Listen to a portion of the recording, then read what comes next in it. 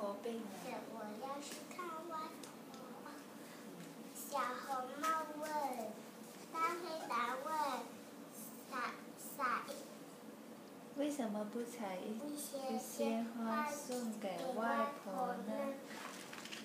小红帽想，外婆看到鲜花一定很喜欢，于是高兴就去采花了。大灰狼一上机跑到了外婆家，一口把外婆吃掉，躺在山上的衣服躺在山上。小红帽回到外婆家，奇怪地问外婆：“你的耳朵怎么这样大呀？